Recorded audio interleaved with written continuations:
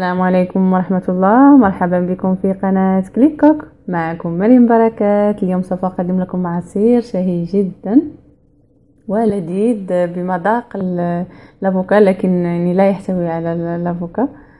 هذا هو شكله والعصير معروف آه، وبه مكونات يعني آه، غنية جدا وصحية.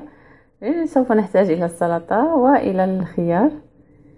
تقريبا نصف خيارة. هنا إلى موزتين أو banane أو la banane. سوف نحتاج أيضا إلى ياغورت أو دانون بمذاق ال pistache أو الفستق.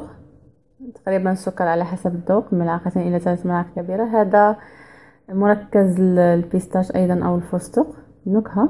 وأيضا هنا لتر من الحليب. يعني هو المكونات يعني لا يحتوي على ال avocat أو الأفوكاتو لكن يعطي مذاق كأننا نشرب الأفوكاتو. يقال أن هذا هو العصير الذي يقدم عادة في الأعراس. يستخدم فيه أيضا في بعض الأحيان القرع الأخضر يعني محاولة للتمويه نظرا لأن يعني الأفوكا تكون يعني ثمنها غالي.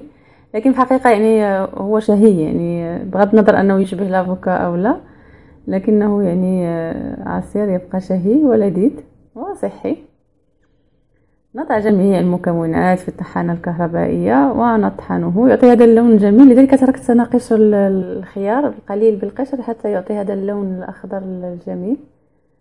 ونقدمه بالهناء والشفاء. يمكننا أيضا إضافة قطع من الثلج.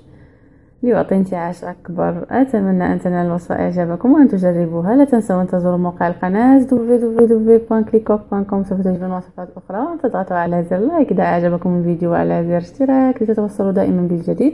أشكر متابعتكم. والسلام عليكم ورحمة الله.